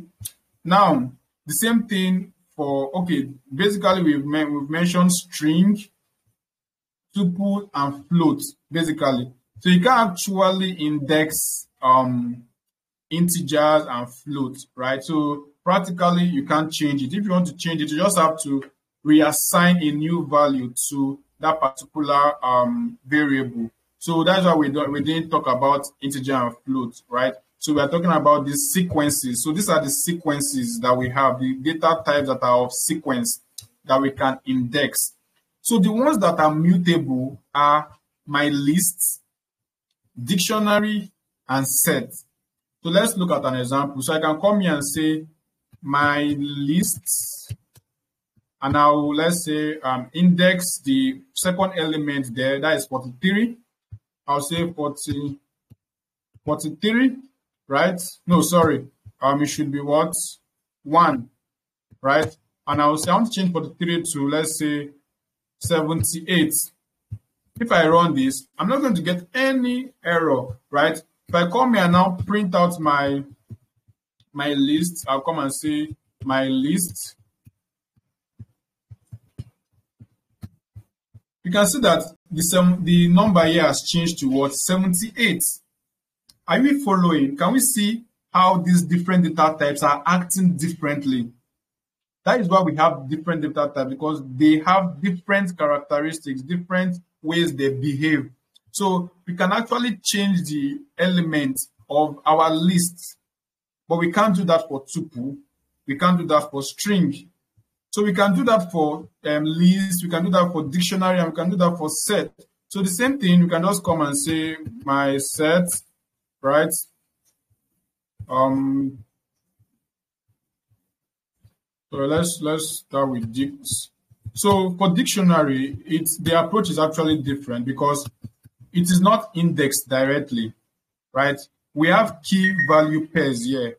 So if you want to index a particular value here, you should have to use the key that we have here, right? You're going to have to use the key.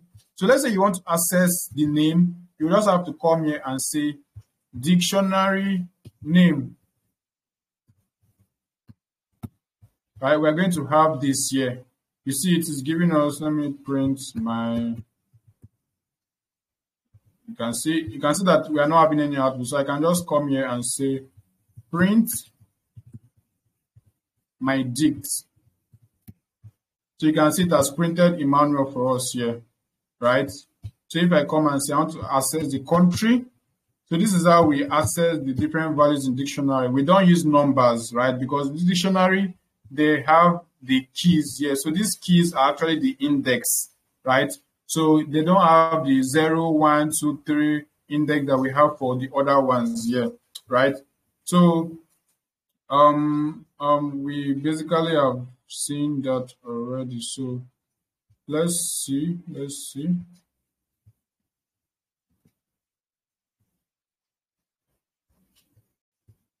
Okay, so now we have the other, which one have we not looked at here?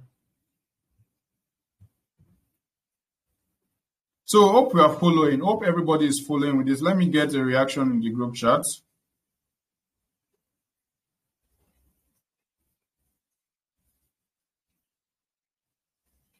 Let me get the reaction to ensure that everyone is following along.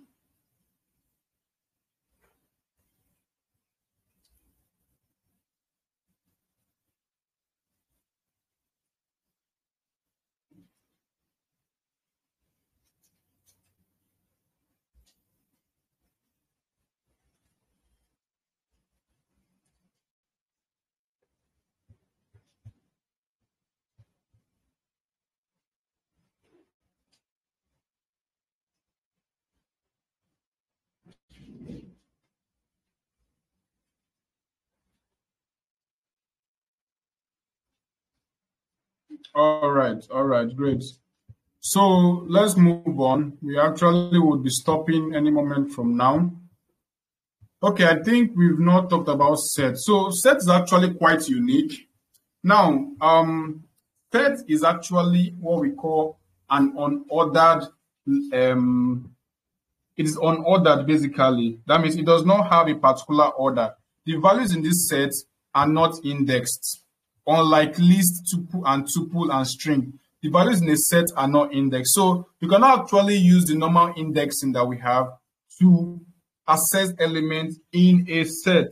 Understand? So the only the way the only way to do that is to use functions that are built in, and we are not going to discuss that today.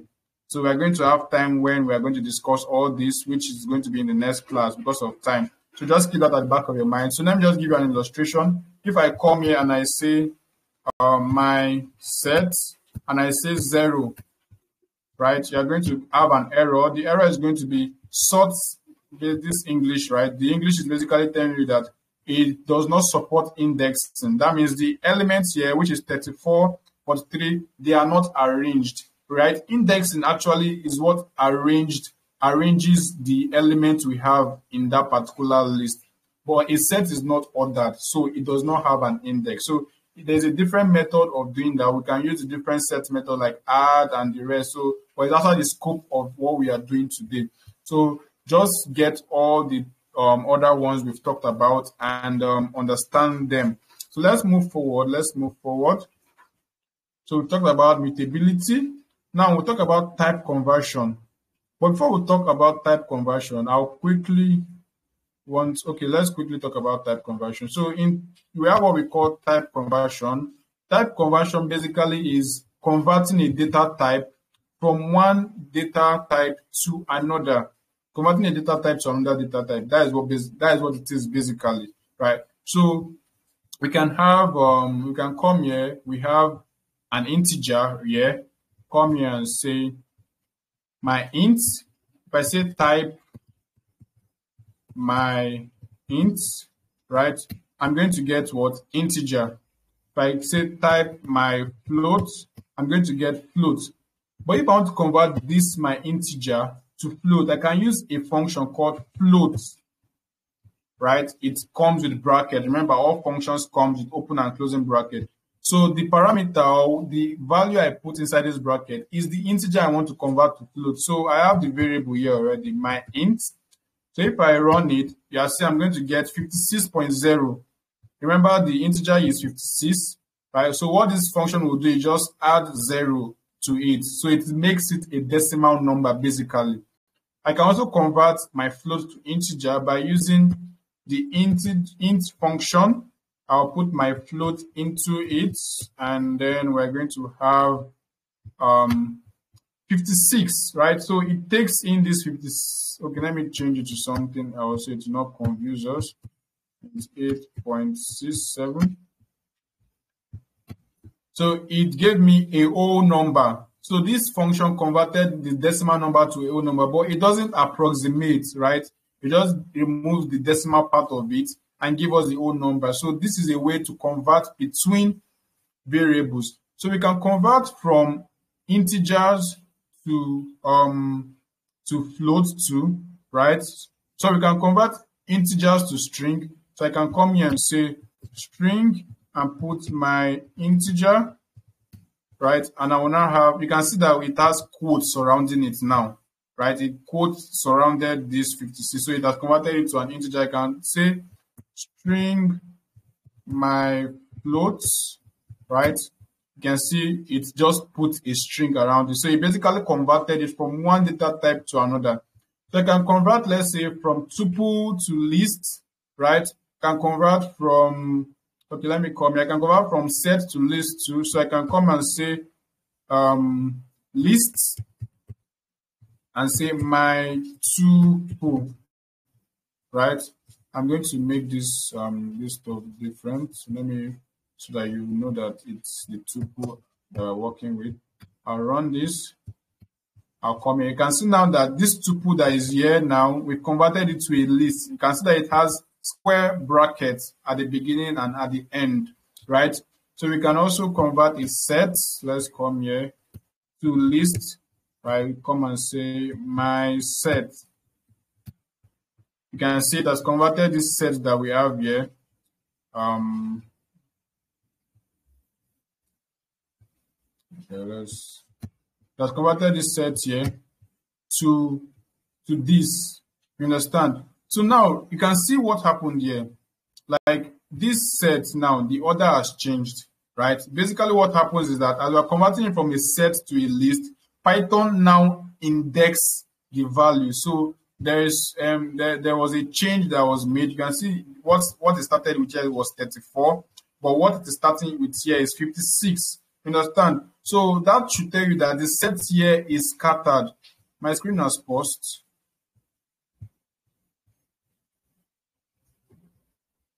Can you can everyone hear me? Oh, okay. Let me start sharing again.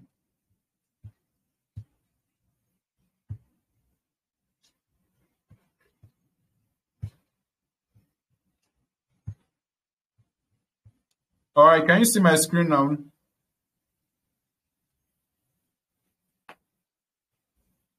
Yeah, all right, great. So let's just continue. So this is just how to convert between data types, right? Can actually convert between data types. So we have here integer to float, float to integer, string to integer, string to float, integer to string, float to string, list to set, string to list, integer list to string list. So these are the basic conversions that we have here, right? So you can just try them out and just play around with them to see what you can do with the conversion method. So we have the different functions there that we've, um, we've shown you. So right, so that is just it. I'm trying to like um just round up because um my system is just about to go down. Uh, I don't know why why these NEPA people haven't given us like yes. So um so now let's quickly look at what we have here. We have talked about the print statement.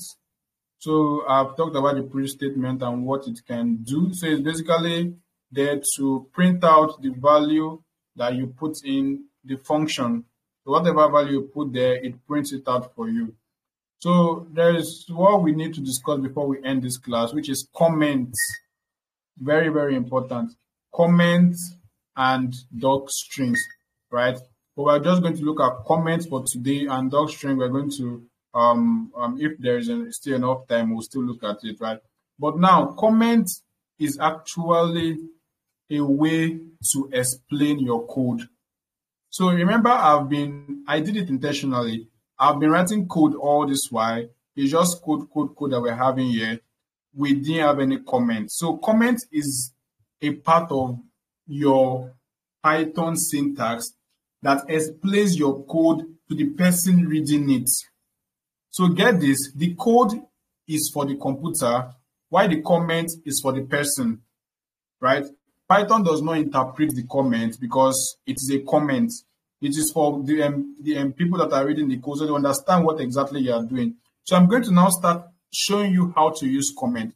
So the syntax for comment is an hashtag. You start a comment with an hashtag. So in a code block or in a cell, once you type an hashtag, Python automatically knows that you want to write a comment. So everything that follows that code is going to be a comment. So it will not be executed while running your code. So I can just come here and say, this is um, um, basic program in Python, right? So you can see I've given a comment here. So this comment is talking about this print hello world. So this hello world here, I said is a basic program in Python. So I've explained what it means. So you can see it here. If I run this, Python will not recognize this particular text I've written here. But if I do not put this hashtag here, if I just write it like this, plain, it's going to give me an error. You understand? Because Python is now looking at this text and trying to understand what code you are trying to write. But if I come here and put hashtag, it's going to like um, um, um, comment it out. So the interpreter doesn't read it as a code. So I can come here and do the same thing and say my first function.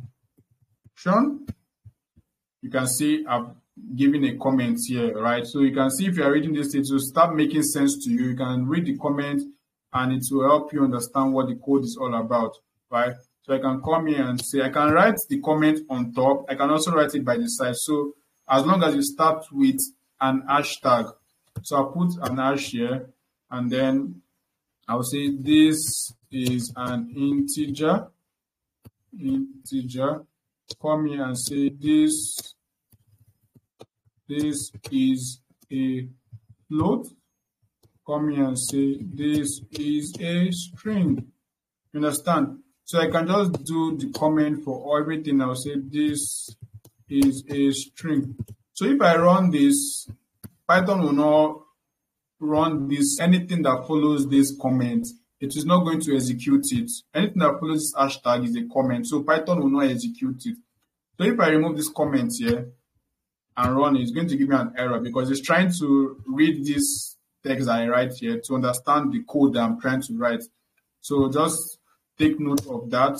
Um, you are going to be using comments um, um, throughout your coding exercises and your assignments um, in this program. So it's very, very important that you know that. So a very a good shortcut to comment out your code is control slash. So let me just put it here. Control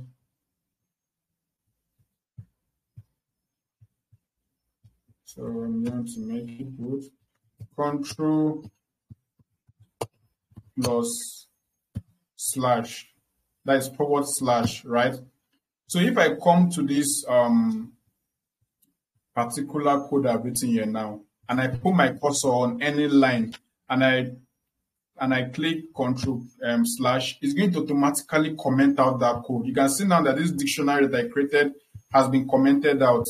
It has included a, an hashtag there, right? If I come again and just type control slash forward slash, it, un- it uncomments the code, right? So that is just a very quick way to comment the code. Sometimes you might be running a cell and you don't want to run a particular line of code. So you can just comment it out quickly. You can just comment this one out and run it, right?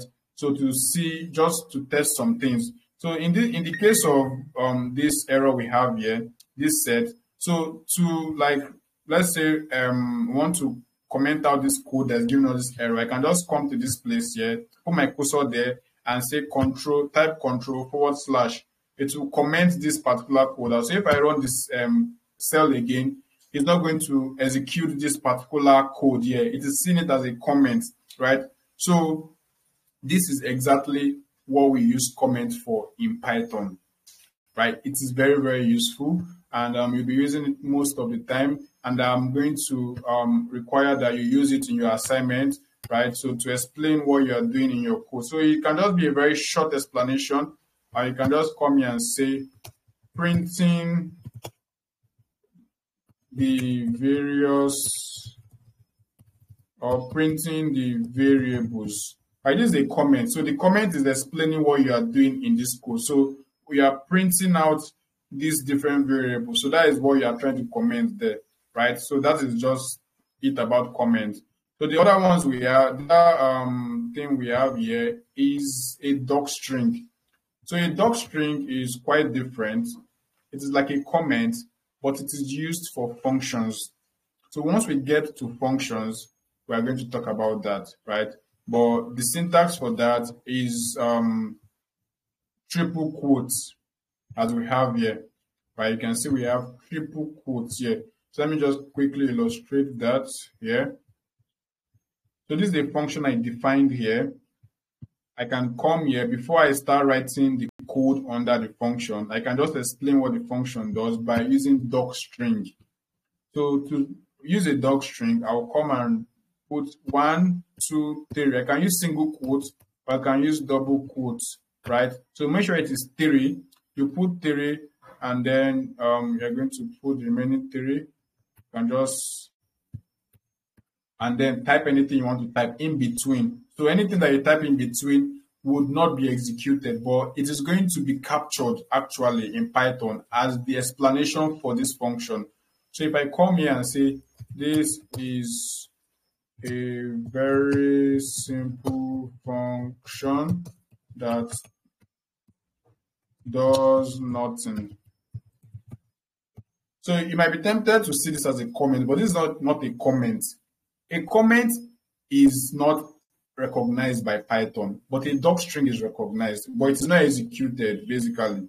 So this function now, once you create this function, it is going to register this doc string as the explanation for this function. So if I come here and run this function and I there's a um, um, there's a uh, there's what we can use to access the doc string. So don't um, um, get confused about this, right? Just follow me. As we are proceeding, we are going to deal with functions exhaustively. So I just want to explain all these things, right? So you are going to understand how to use them especially the comments, right? So you can just access the doc, right, by using this doc um, function here. Sorry. So you come here and say print.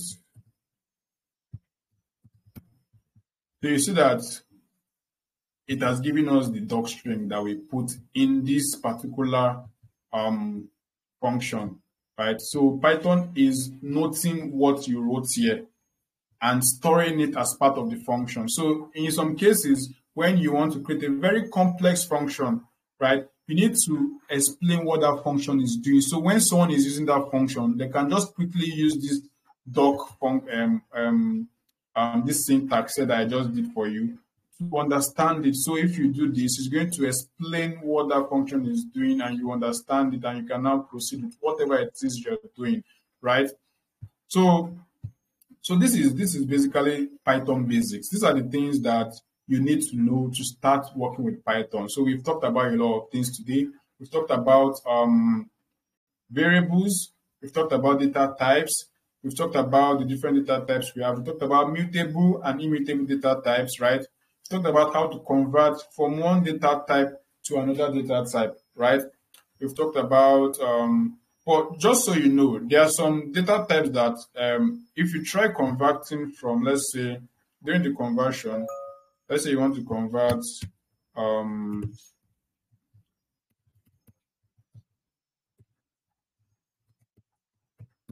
you want to convert? Okay let's see.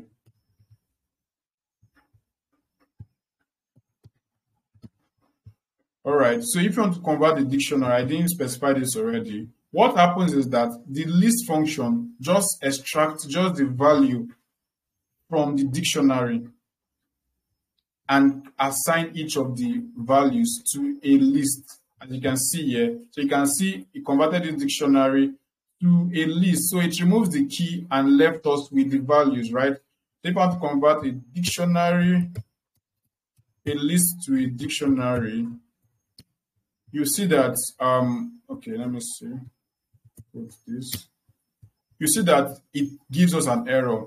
Cannot convert dictionary sequence, blah, blah, blah, to a sequence. So converting from a dictionary to another sequence is almost not going to happen. Like you can actually do that, but you can convert from a dictionary to other sequences, like a list um, and tuple and, and a set, right?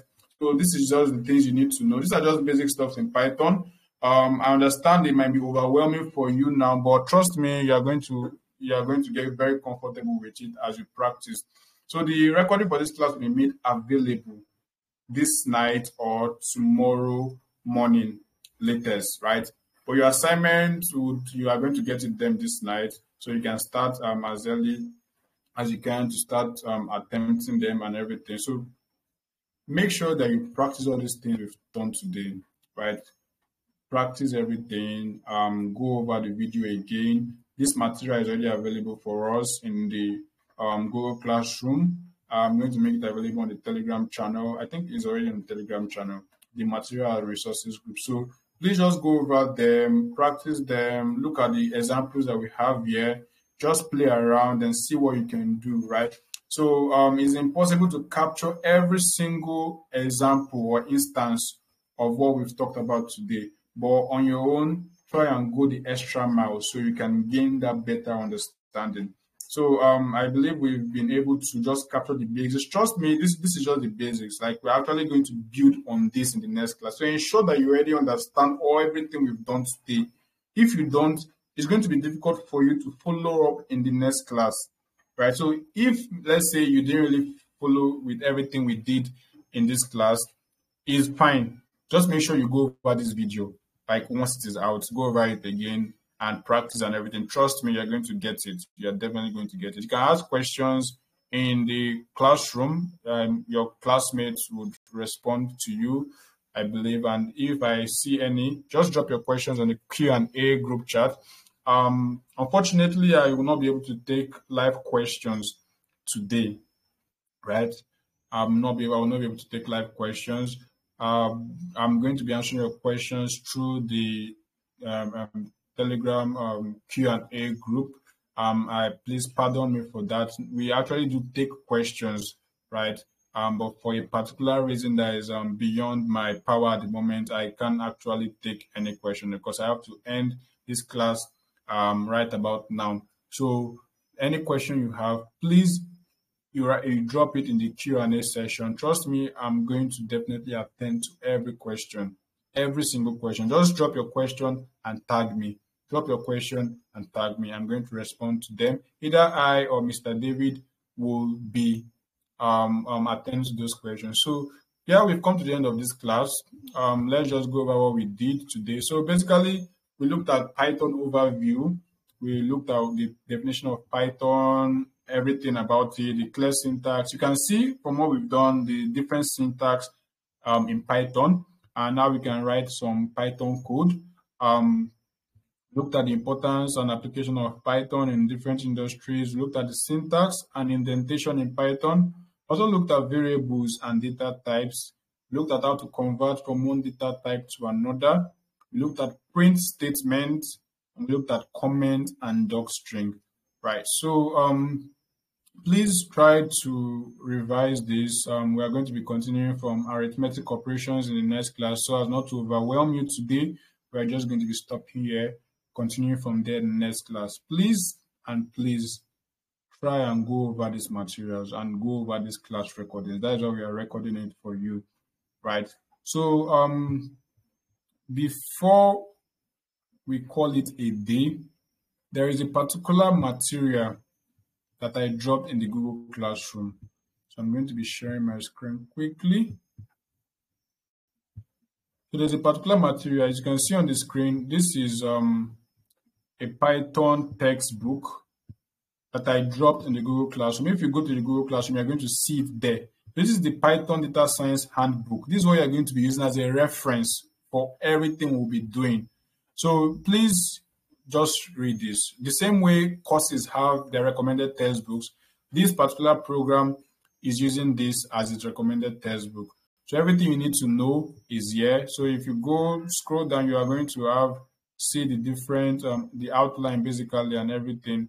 So you're going to get um very uh, it's actually very elaborate everything you need to know about python and the different um um as we are going as we are progressing we are going to be introducing new things to you and you can also get them from this particular textbook um sometimes uh, you might have a lot of very unnecessary information here that you might not need you just look at the ones that we've done in class and just um, um, um, check them out in this textbook so to give you a better understanding, right? So there's another textbook I, I, I, I dropped in the classroom too. I don't have that here at the moment, but that one is more easy to read. It is easier to follow up with, right? So that gives you actually an understanding on some of this Python concept that we've talked about. So um, check the Google Classroom. Please I've added everybody that put their name on that list on the in the classroom. So if you've not um, joined yet, check your email, check your email, check your spam, check everything to ensure that um, to, to to to ensure that you've not missed the invitation. Everybody that has a name on that list has been added to the Google Classroom, right? So so that's going to be it for today.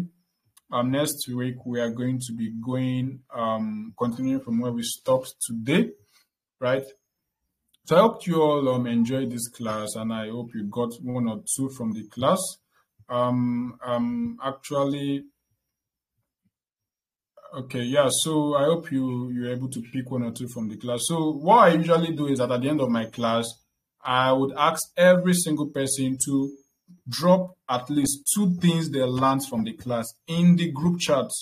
So as we are going to be ending this class, I want to see uh, I want to see the things you've learned from this class. Just to just few points, anything whatsoever. It might be one line or what have you, right? I just want to know what you've been able to learn from the class. I'll be going um, through the messages and just taking note of them and um, just reacting to everything. So I just want us to interact on and off the class. So that's going to be it for this class.